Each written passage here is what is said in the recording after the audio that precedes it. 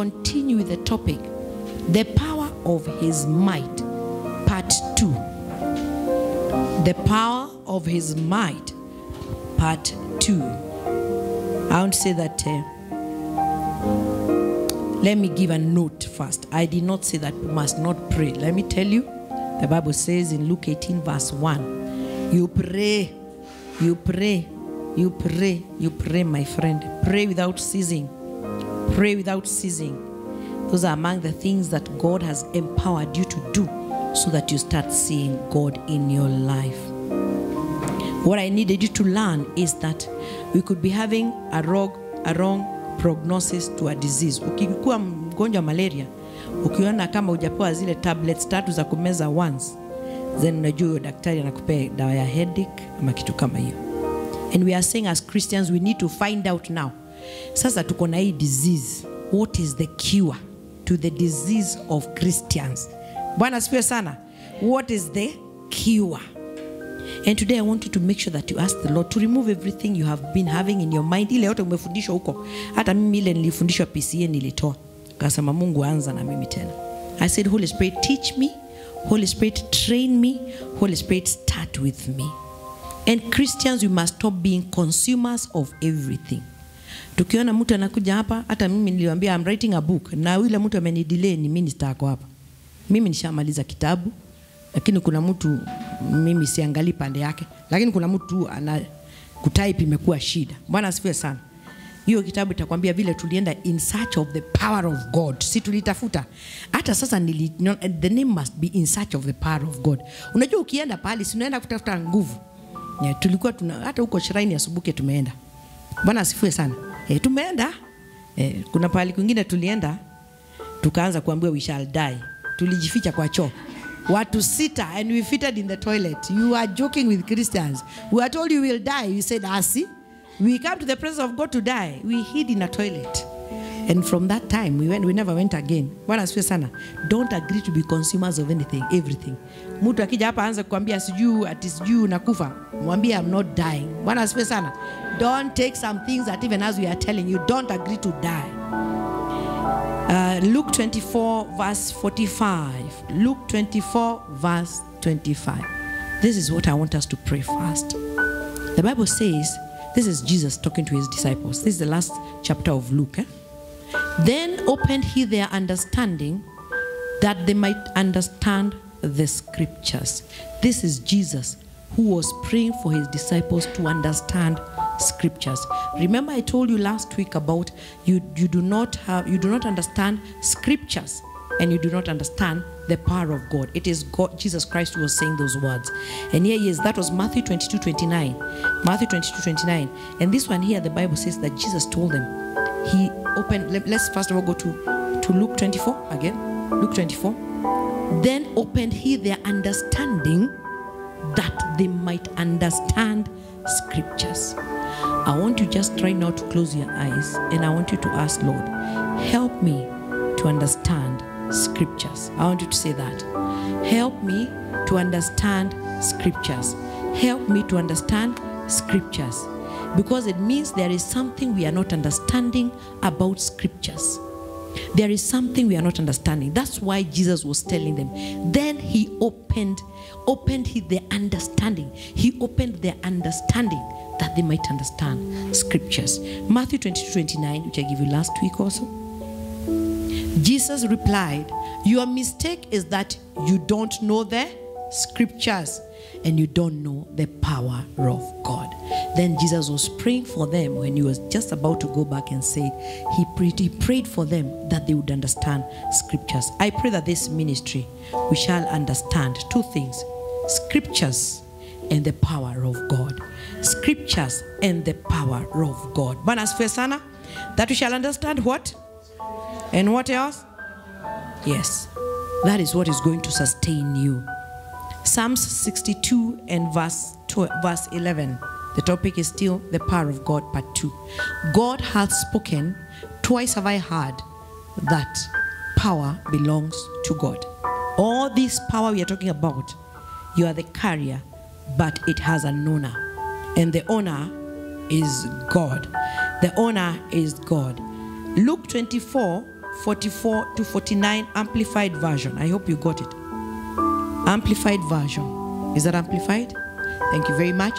Then he said to them, This is what I told you while I was still with you. Everything which is written concerning me in the law of Moses and the prophets and the Psalms must be fulfilled. Then he thoroughly opened up their minds to understand the scriptures. This is just another version of the verse I gave you. And he said to them, Thus it is written that the Christ, the Messiah, should suffer and on the third day rise from among the dead.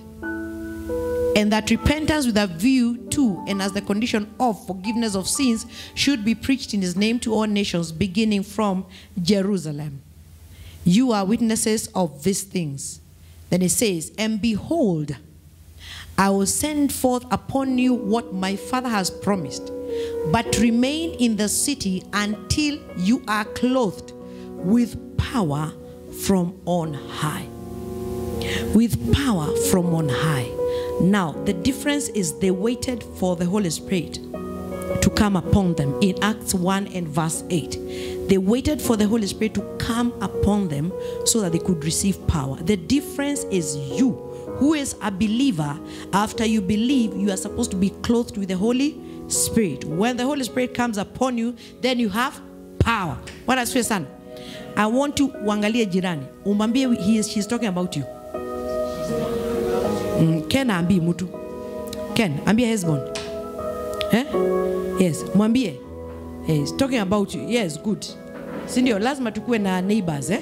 E, mkuwe na neighbor wa kuambia he's talking about you. Bwana asifiwe sana. So the power that was that they were waiting for is with us daily. Is with us daily. Something that I checked this this this when I was studying about uh, power. I saw that one time the Bible says that Jesus had the power to heal. That power came upon him at that time, and I thought, wow. You know, you have to understand the dispensation of where you are now. So, Jesus, when he came, he was under the law. The Holy Spirit used to be given to them to either prophesy or to heal. So, he was not available at all times.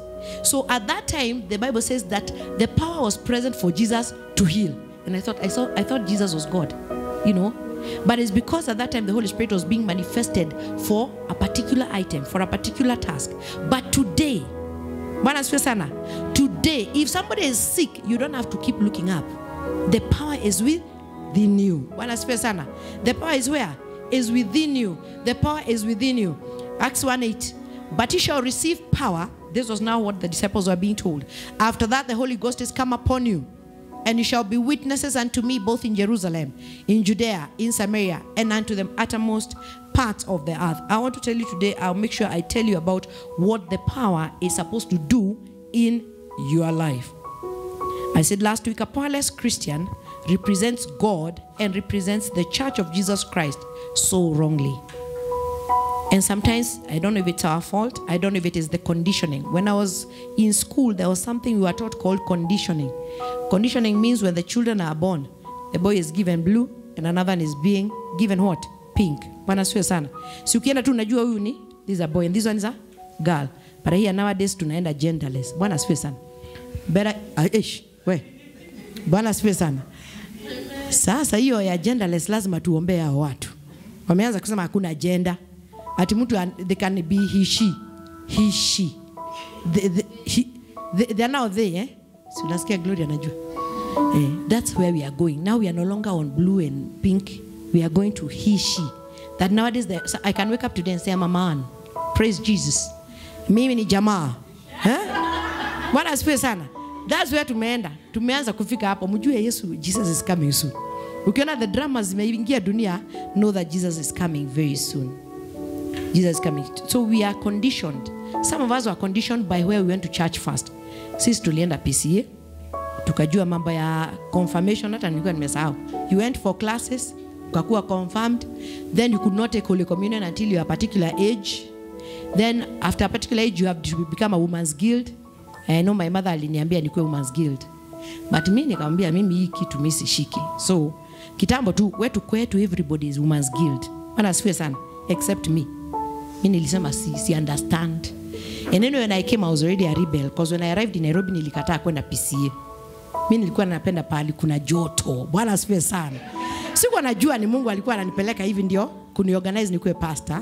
So when you are, ukiwa ukiwa a particular age unakuwa women's guild. Automatic. Whether you are saved me i don't even think that that's in uh, our church. At least i know our local church. It, is not a, it was not a parameter ya kuokoka lakini miaka ikifika pale unaanza kuambiwa lazima ufungwe nini? Kitambaa ya women's guild. Conditioning. It's called conditioning. Conditioning. So even us as christians there are things we have been conditioned and we must get out of them. That's why i told you the first prayer was lord teach me scripture. Lord teach me scripture. Ndio nitoke kwa ile nilifundi nilifundishwa. My mind must be wiped out so that the holy spirit can teach me scripture so that the holy spirit can teach me scripture god's power God's power is revealed as a consuming fire. God's power is revealed as a consuming fire. Deuteronomy 4 23 to 24. God is still a consuming fire. When you see things like COVID, remember God has not changed. He is still a consuming fire.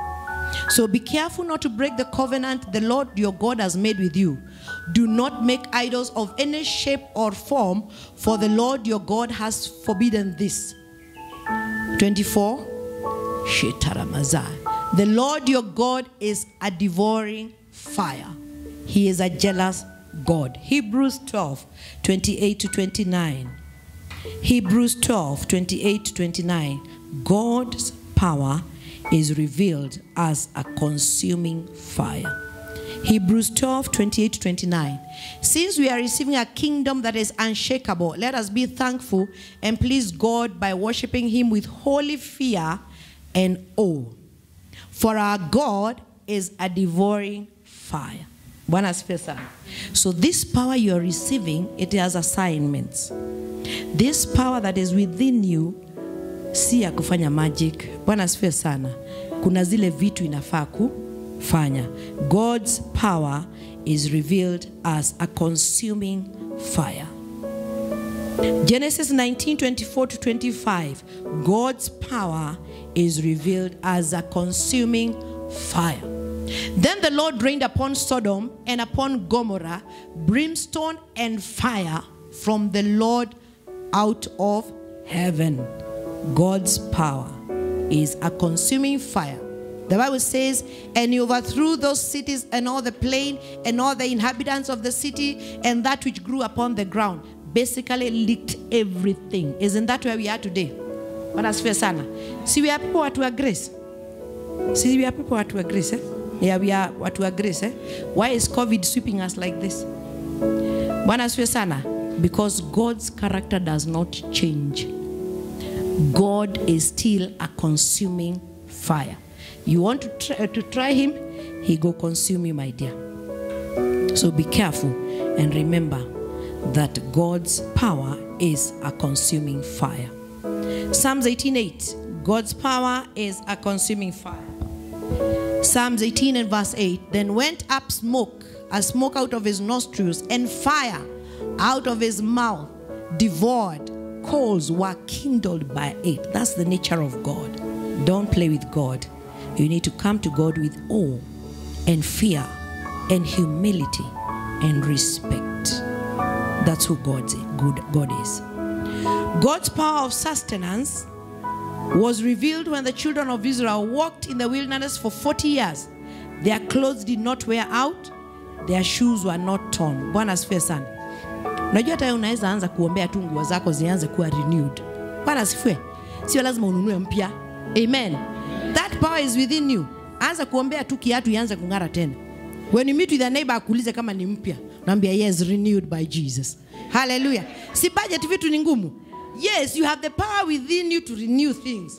Ati naona Diana anamuuliza anaambia this kadres ni kamiaka 20 naambia asi. So that it's renewed. Amen. You have the power to renew yourself and renew your things. Hallelujah. When you meet somebody anakuuliza unajipaka nini? Na sasa umeenda kwa Aramis. Ulikuwa unajipaka fair and lovely. lakini mambo imeenda ngumu kidogo so ukijipaka unasema god the same glory let it be upon me. Hallelujah. Use your mouth so that somebody will not start seeing umeanza kuona umeanza kuchaka kidogo. Nasema ai na huyu god huyu sijui alienda wapi. The power is within you. Ask for revelation. Ask for wisdom. Ask the lord father nikienda nje kama hata kama kamikap kangu kaliisha jehovah god let them not know. Let them ask me what happened today? What are you applying today? Bwana asifiwe sana. God's power is available for you to sustain you. Even during this season, God is going to sustain His own. God is going to sustain you. I repeat, God is going to sustain you. Hallelujah. And this is the time you'll grow fat. Bwana sana. I know that's not a good prophecy. Hallelujah. Lakini this is the time utanona watu washindwe. Lakini ulikuwa unasema una job. Ni aje, ni aje bado unakaa kunona. Yes, ndio. So this is the time the glory of the Lord shall be so powerfully upon you that people will start asking how. It cannot be at this time, the season ya ukame, ndio unaanza kuonekana hata unametameta. Bwana asifiwe. Even those who are not married, this is the time. This is the time. Huyu jamaa ataanza kukurecognize na kukuidentify. Bwana asifiwe sana. Bwana asifiwe sana. Watu wasema amen ndio niendelee. Hallelujah. Eh, kuna watu wataki kusema amen lakini this is the time. This is the time to be identified. Hallelujah. This is the time utaoneka utaonekana. Bwana asifiwe sana. Yes, this time. These times lazima unasema kuna ukame, kuna shida because God's power of sustenance was there with the Israelites for 40 years. Are you telling me they did not grow slim and fat? They wore one item. They wore one pair of shoes for 40 years.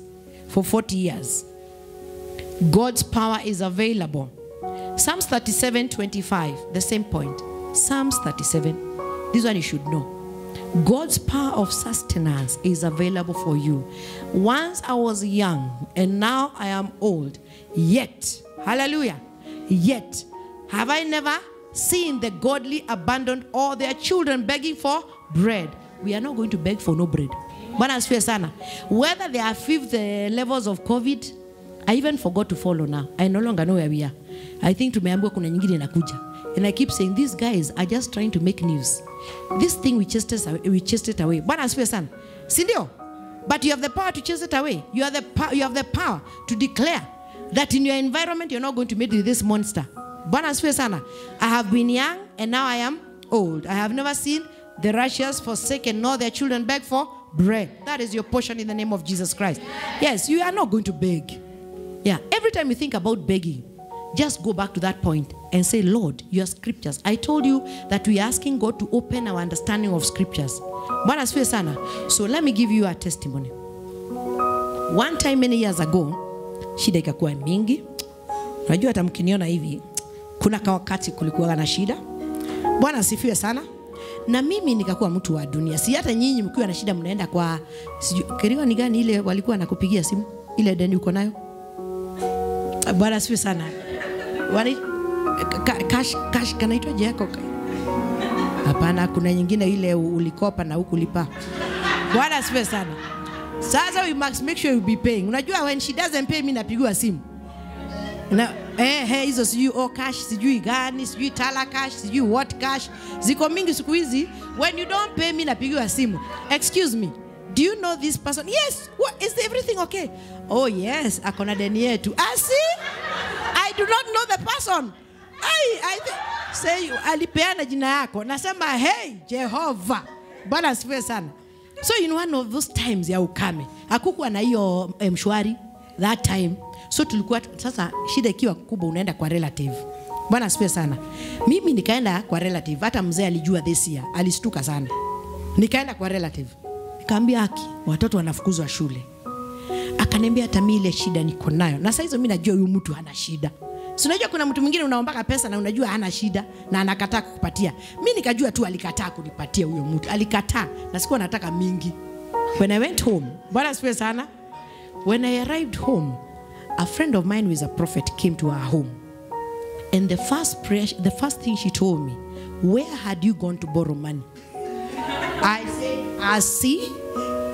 Aliniambia miguu hizo zako zisiwahi rudi tena. Do not go back there to embarrass your God. Let me tell you, and I am saying this with all humility. Our children have gone through schools, they have gone through outside schools, and the Lord has made sure that we have not been embarrassed, and we have not been ashamed. Aliniambia who told you to go? Nasio mtu nimeambia aliniambia usirudishe hizo miguu zako tena do not embarrass god. Bwana asifiwe sana. So I, knew, I wish I had known the, the scriptures. Nilimwambia this year. Unajua karibu aanguke mbaya kuna siku nilienda kwa so and so kukopa pesa? Na huyo mtu hakunipatia hata ndururu hata chai hakuninunulia. Haki tu ni sawa tu. It is all right. I forgive the person. Bwana asifiwe. At least mtu akija kukukopa kama una kitu umnunulie nini? Yes cause pengine hata nadi hajakunywa chai. By the time anakuja kukopa si things are very things are relevant. Si ndio? Haya once i was young and now i am old yet have i never seen the righteous forsaken nor their children beg for bread. So we are not going to beg for bread. The lord shall make sure we shall have more than enough. Because his power is the power of sustenance.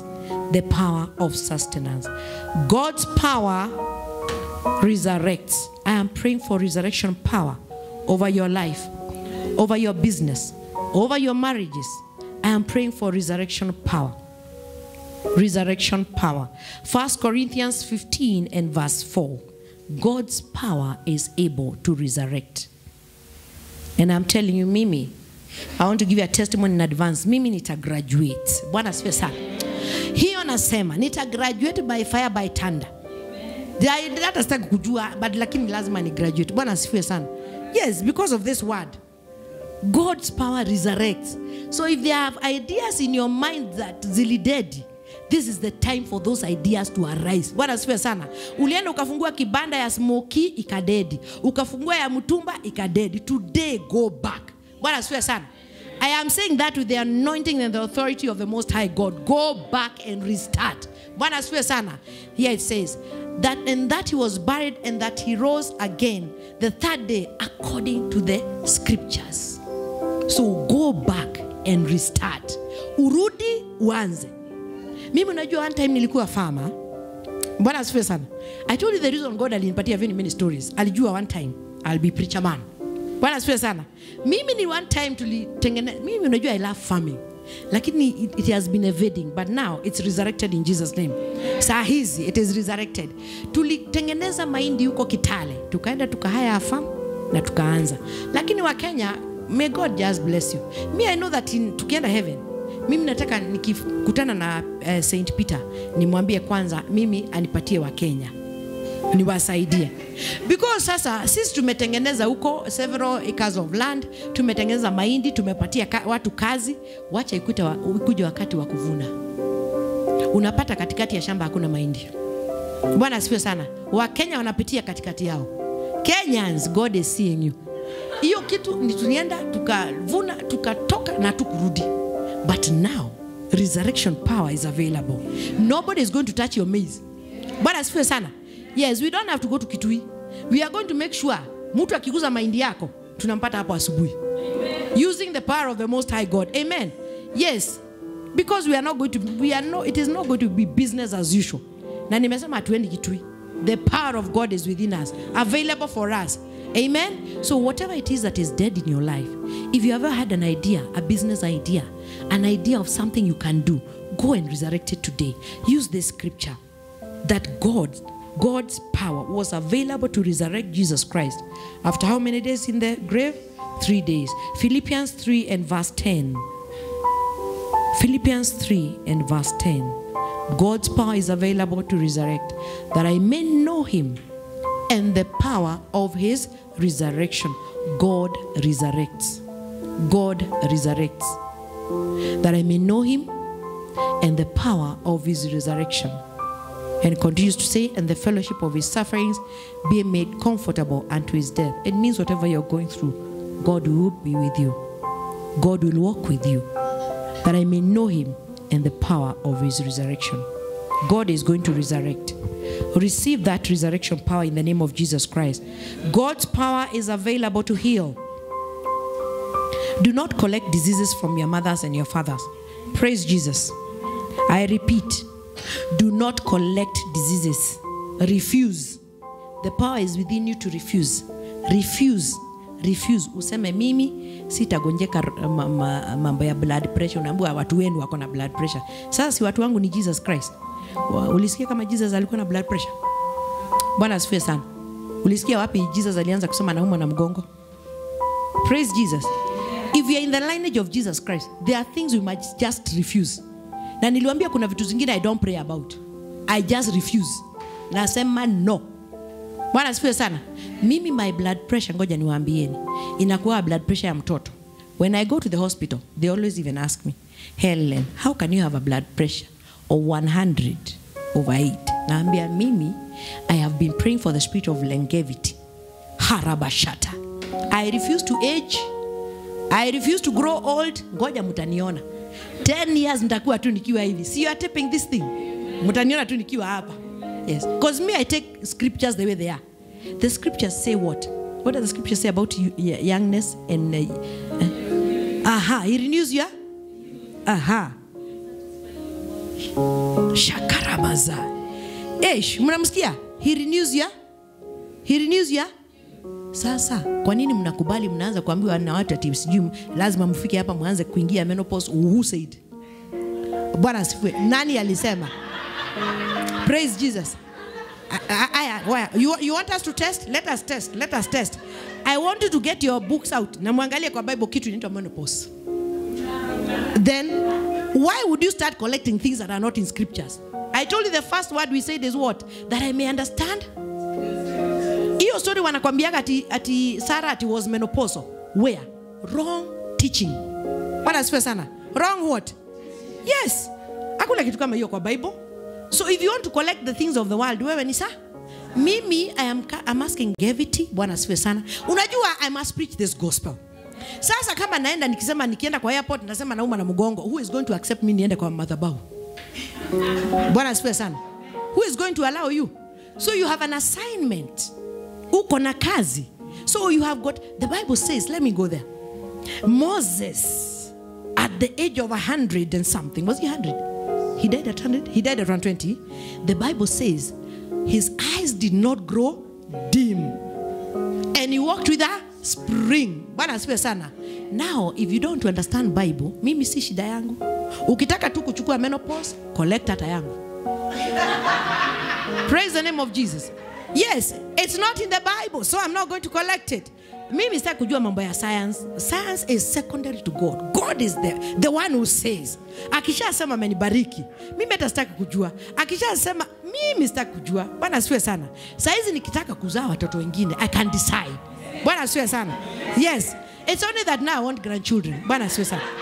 Sasa sasa tumekubali tu tumekubali tu na Pastor Karu tu sio kuambiwa na ati ya dokta akwambia ati hii miaka imeenda. Imeenda wapi? Miaka inaenda wapi? Bwana asifiwe sana. Hii miaka inaenda wapi gloria? Don't be cheated by anybody.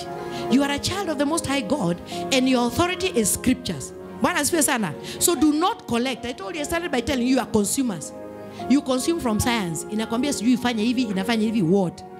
Uh, science is not going to manage me. Science is not going to control me. The most high god who is in me is the one who is going to control me. He is one who is going to lead me. He is one who is going to guide me. Niwaambia i'll be with a spring at 100 years. Bwana sifa sana. Kuna mtu alikuja akaniambia kwa nini umejenga nyumba iko na downstairs na upstairs? Nikaambia because at 100 i'll still be walking upstairs. Bwana sifa sana yes and I have a testimony of a lady niliona america. She was called miss Faye. she was 80 years old. Alikuwa na uh, his, her, her, her bedroom was upstairs. And i come to kenya and in africa ndio mnaanza kuambiwa jenga bangalo nijenge nani? Bwana asifiwe sana. Who are you building for a bungalow? Do not agree to collect to collect the conditioning i told you. It is earthly conditioning yet you are the children of the most high god you are the children of the most high god. Bwana asifiwe sana. So tafadhali nimewambia. Wewe ucollect ile unata but see i've advised you. You collect the one you are collecting.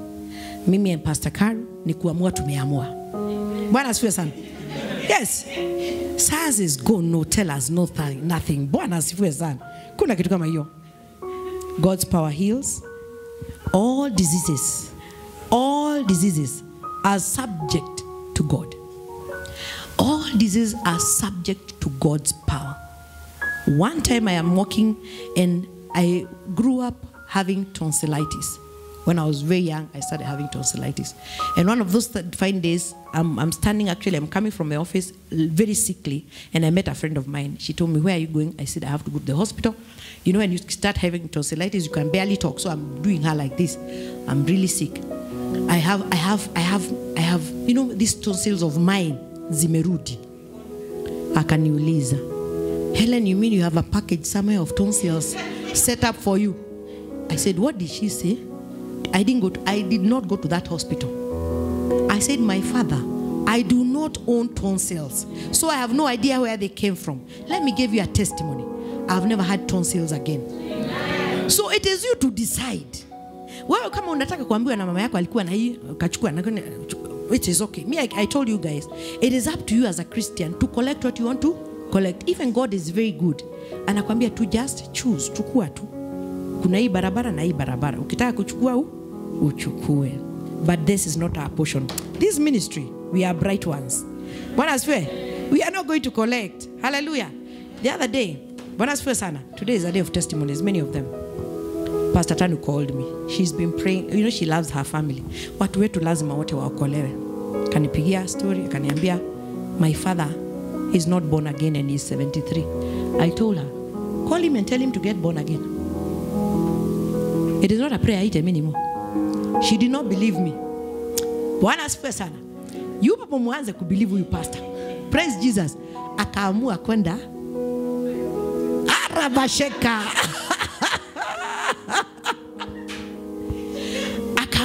Lazima aende azidishe hii maombi ndio ifike.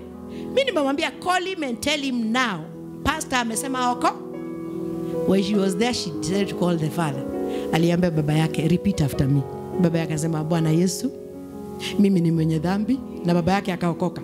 Bwana asifiwe sana. So now you you have the power within you, lakini lazima mwende mkachukue power. Let me tell you what you go to do there. You go there to be equipped to understand scriptures, to study scriptures, to have one on one time with God. There is no power you're going to collect.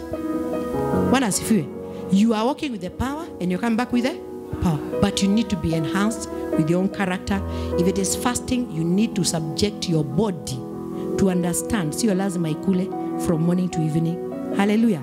So it is just disciplining. So some of these things you have been doing thinking that inaenda kuchukua power. Hakuna power unakujaga nayo. Ile tu ulienda nayo tanu ndio ulirudi nayo hapa. Bwana asifiwe sana. But it is a good time. It is good. And I'm saying, I did not teach that you don't pray. I did not teach that you don't have time with God. No. According to scriptures, even Jesus Christ used to go the whole night to commune with God. So it is also important for us. The power that is assigned to a believer is enough. Uh, Pastor Karu happens to know a lot about electricity. Na akaniambia every place is designed for a particular level of power. Ikizidi ndio inafanya nini? Inachoma vi vitu. Kwa hivyo hiyo mnataka kuchukua, itakuja tu kuwachomea vitu. Wala asiwe sana. Every conduit ile ndogo ni how many millimeters? Inaanza 1.0 1, si ndio? So sasa we uko God amekupatia conduit yako ya 1.0 lakini the reason tunaenda huko, unajua hata my sister alienda kwa TB Joshua. Bwana asifiwe sana. Bwana asifiwe sana. Na alirudi tu vile vile, hata ange, angenipatia tu hiyo pesa. Bwana asifiwe sana. Unajua hatukuwa tuna understand. This is the time we are starting to understand scripture, si ndio? That you don't go to collect any power. The one that God has given you according to your ability. For some he gave how many cities? Five. For some he gave what? So ask the Lord, Am I the one for five? Am I the one for? So that you understand. Hallelujah. So that you don't keep asking for things that God is asking. What are you asking? And you already have it. The reason God gives you power is to use it in the great assignment that He has given you. Use it in the great assignment that He has given you. Mark 16 15 to 18. The power of God that has been given you, the power of God that has been given you is to enable you work on the assignment God has given you. Mark 16 15. Do you know what this is? Wasomi. Amjui Mark? Mark imefika chapter ngapi? Mark imefika chapter ngapi? Yule anajua namnunulia sweet. Hallelujah. yaani kuna watu naangalia na mlifanya CRE juzi nyinyi mko huko nyuma. Na amujuzi, am, am, amujibu mark iko na how many chapters? 16 is where the commission. Jesus christ gave the commission. And he, then he told them go into all the world and preach the good news to everyone. So even preaching good news requires power. Hallelujah. Do not undermine that power is only for miracles. Even preaching you need the power of god. Anyone who believes and is baptized will be saved but anyone who refuses to believe will be condemned. Continue. These miraculous signs will accompany those who believe. You will do what? Let's read together. They will cast out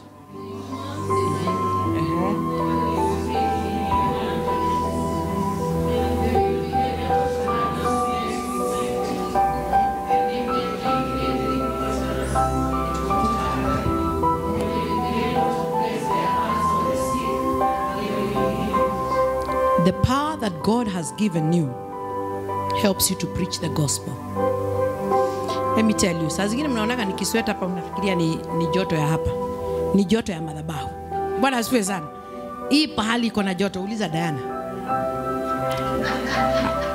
Kuna wakati alisimama wakati wa first anniversary, alisema mate ikamezeka, akaanza kuona kama ni Uhuru Park watu wamejaa this ka place kako na joto. Bwana asiwe sana. So preaching the gospel also requires the power of god. You are supposed to preach the gospel. You are supposed to deliver and cast out demons. You are supposed to speak in new languages in new tongues. Desire people to speak in these new tongues. You are supposed to perform miracles Anything you drink, even now, if by mistake you have taken the vaccine, don't worry. You are able to consume it yourself. Uiambie, you are consumed in my body, in the blood of Jesus. You, hautanidhuru. Bwana asifiwe sana. Yes, start speaking. Wewe ongea. Amen. Luke 4:18. What do you do with the power that God has given you? Preach the gospel, cast out demons in Jesus' name, place hands on the sick that they will be healed. The Bible says in Luke 4 and 18, The Spirit of the Lord is upon me, for he has anointed me to do what? That is always the first one. You need power to preach this gospel. Hallelujah. To preach, to anointed me to bring good news to the poor. He has sent me to do what? To proclaim that captives will be released, that the blind will see, and the oppressed will be set free. If you have people around you and they are oppressed, it's because you are not using the power of God. Bwana asifiwe sana. Bwana asifiwe sana. Najua naangalia hiyo clock, kumbe ilisimama ama ni macho yangu hiyo ni vizuri. Bwana asifiwe sana. Kumbe I can keep you here until one because I'm looking I'm looking at the clock and I'm like this clock looks like it's not moving. What power? Ama ni God anataka tuendelee. Bwana. I think the Lord wants us to continue. The Spirit of the Lord is upon me. He has anointed me to do what? To preach, to deliver from captivity. Ah, thank you. To perform miracles and to set the oppressed free. That's what the power of God is supposed to be doing. Supposed to do within you and outside you. Has anointed you to preach the good news, to deliver from captivity. Niliona mtu amesema lakini msirudi Singida. Bwana asifiwe sana. Unless the Lord sends us to Singida turudi tena. Yes? But if the Lord will bring you people around you who need deliverance, don't be afraid. Bwana asifiwe sana. Yes, I told you that if that demon is going to beat you, Gloria, and you finally find yourself that you have been shifted to the other side, ukifika at the pearl gates, just tell Peter, Miss Singi, because I was doing your assignment. Bwana asifiwe son, Yes, don't be afraid. If you meet something that you, if you meet somebody whom you need to deliver, deliver them. Hallelujah. And perform what? Miracles and set the oppressed free. Jesus Christ and his power dwells in you. You are not alone. I want to tell you today you are the vessel God has chosen to carry his power. You are a very important person. God has looked at you and decided to assign you his power. Hallelujah. The Lord has decided to assign you his power. Second Corinthians 4 7. 7 2 Corinthians 4 7. I want to thank God for media team and worship him. May the Lord continue soaring you higher in the name of Jesus Christ. You are also the vessels God has is using for such a time like this. I'm saying I want to thank the Lord for media team because I start like this. I give them a line of scriptures, but they have to keep gathering where I am going. Hallelujah.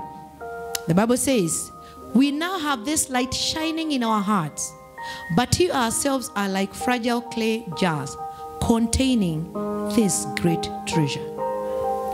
This makes it clear that our great power is from God, not from where? So God has chosen you, has chosen you, has chosen you to be the earthen vessel to carry his power. What bigger thing would you want? I told you the highest calling is serving God. Bwana asifiwe sana. And now the Lord is reminding us that he has given you like your fragile clay jars, but you're containing this great treasure. Wacha kujiblacken. Bwana asifiwe sana. Naita waje na sheng. Hope, unajua sheng kidogo? You know now I, that is direct translation. Duke ile. Now somebody needs to translate for me. Don't blacken yourself. Usijidharau. Ah, hallelujah. I think the Lord wanted to use me to use Kiswahili. Usijidharau. You have been chosen to carry this powerful treasure. Hallelujah. You. You tell yourself, me. Yeah, nya- Jiambie, jiambie, jiambie. Eh, mimi, mimi. Call yourself, say, me, Helen. I, Helen. I have been chosen by God. I am the fragile clay jar that is containing this great treasure that is the power of God. Me. Bwana asifiwe sana. Do not let anybody tell you anything else. You, when you, when, now last time I told you you're a board member, sindio? Now this time when you meet them, tell them me, me, ukiniona hivi, mimi na carry God ndani. Sio tu hivi juju, eh, sio tu juju, nda, ndani. Amen? So you are the one that God has chosen to carry this great treasure. The power is already entrusted you by the Son of God. And it is given to you to do all. To do all. Luke 10 19. Oh, hallelujah. Behold, I give you. Behold, I give you to do what? Uh huh. Uh huh.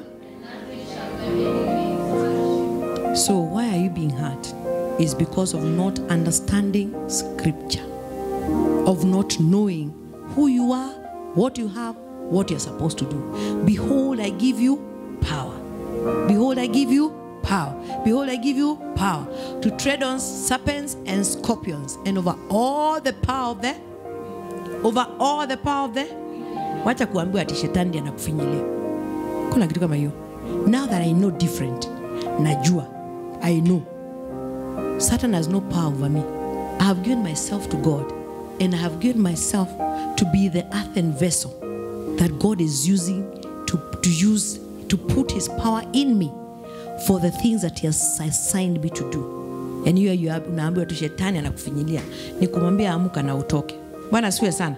Yes akija in your surrounding glory amwambie "K- pack your bags my friend. According to luke 10:19. and nothing shall by any means do what? Hurt you hallelujah nothing but shall any, any means do what hurt you you will not be hurt hallelujah hallelujah philippians 4.13 the power that is within you. I can do what? I can do what? Why aren't you doing? Bwana asifiwe sana. That's the next conversation. Why aren't we doing? We said that we needed to remove a lot of the things we have learned. We have learned so wrongly. That's why we are where we are today. I can do all things through Christ who strengthens me. 2 Timothy 1 7. Who knows that one? Don't put it up. Ish. Media wako haraka. 2 Timothy 1 7. For you have not Tracy.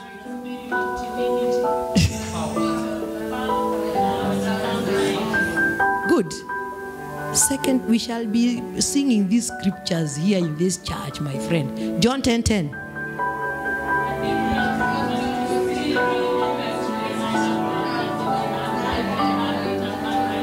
Hallelujah. That is the way we shall be learning. These scriptures.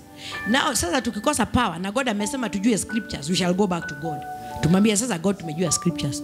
Why isn't this power working? Hallelujah. Bwana asifiwe sana. 2 Timothy 1:7. 2 Timothy 1 7. For God has not given us the spirit of timidity or fear, okay?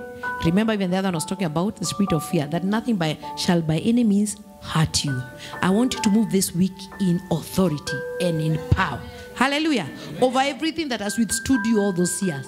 Go and tell it, pack your bags and leave my house. We cannot both stay in this environment. Yes, you can't. Eh? Ati waizi wanajua tu kwako, mwizi akuja kwa nani? Bwana asifiwe sana. Si kuna miji mingi. Choose another home. You can't come here. This place, my friend, is reinforced by the power of God. Hallelujah. Yes, start taking power. Start taking power and use it well.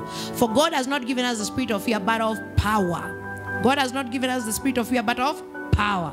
He has not given us the spirit of fear, but of power. Hallelujah. Tell your neighbor you're powerful, even if you don't believe it. Mwambie vile nimesema. You are powerful even if you don't believe it. Eh, eh, eh, waambie hivyo. Si ndio?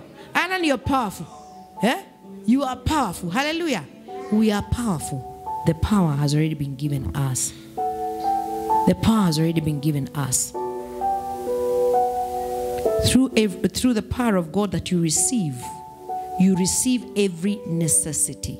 Second peter 1 3 you know one of the things that i am grateful to god about making me a pastor. Na nikwambie kazi ya pastor ni ngumu. Na I know we are not supposed to, to talk negative lakini kazi ni ngumu. But it is because i have gone to find scriptures i never thought were possible. Bwana asifiwe sana. Mimi nilikuwa watu wa psalms 23 psalms 124 psalms 91 hizo.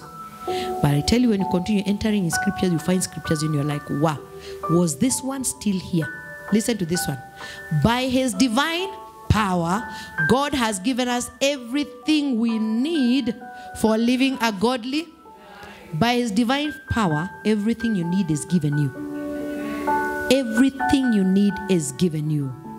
We have received all of this by coming to know Him, the one who called us to Himself, by means of His marvelous glory and excellence.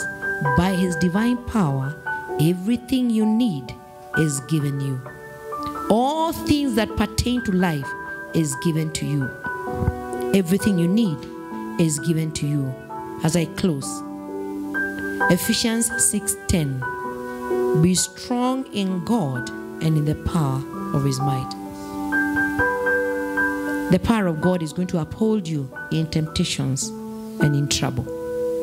Finally, my brethren, be strong in the Lord, in the power of his might everything you need, everything you're going through, just go back and lean on the power of God. Go back and lean on the power of God. Go back and lean on the power of. Go back and lean on the power of. Because you are not alone. God's power is inside you. 1 John 4 13. Hallelujah.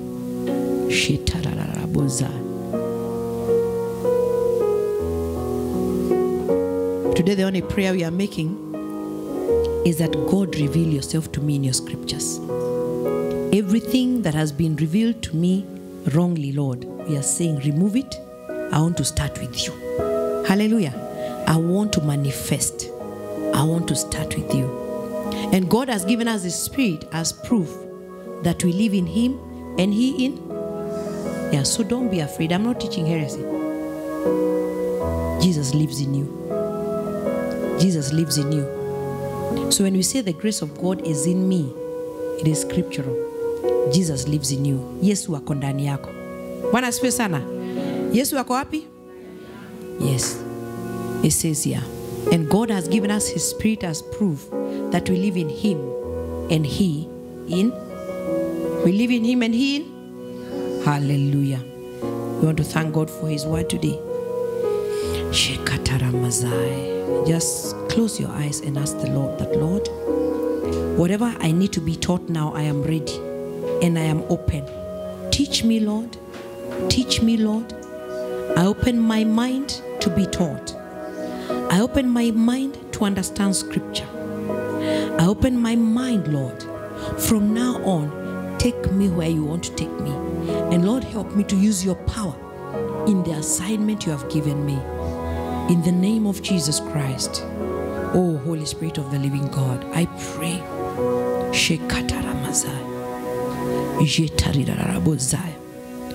Lord, I want to walk in you. I want to walk with you. I want to walk with you. Jehovah God, you have said that you live in me. You live in me. I pray there shall be manifestation as I preach the word of God, as I heal the sick, as I deliver the captives. Yes, my Father and my God, as I perform miracles. Holy Spirit of the living God, be with me. And when I'm afraid, Lord, you have said, you have not given me the spirit of fear, but the spirit of power, the spirit of love, sound mind. Holy One of Israel, I thank you. I pray for every need in this ministry. And Lord, from now on, we are not going to walk like people who don't understand, but we shall walk understanding that, Lord, it could be a short while when we are going through issues, but you will still come through for us. Oh, hallelujah. Thank you, glorious Jehovah. Hallelujah. We honor you, Father. We honor you, Jehovah God. Our children will go to school, fees will be available, and we shall not be ashamed. We shall not be embarrassed begging. Jehovah God, you'll open the work of our hands for us in the name of Jesus Christ. Glorious Father, we love you and we worship you. In Jesus' name, we pray and give thanks. In Jesus' name, we pray. Let us give a clap offering to Jesus.